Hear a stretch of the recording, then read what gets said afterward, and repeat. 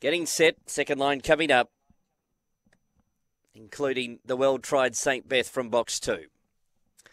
About to see a green light. Set to go. Lure rolls. Ready. They're off.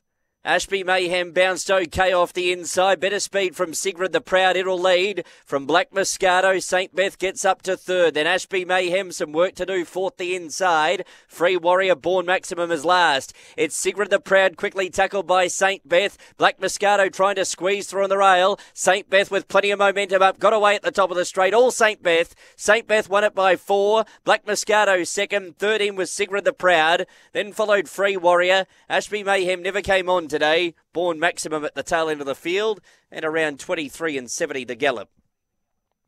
St. Beth the winner. Number nine. Nine St. Beth. That's uh, the first two to the Robert Walsh kennel. St. Beth number nine scoring at uh, 250, 150. Black Moscato second, 340. Sigrid the Proud, no third dividend.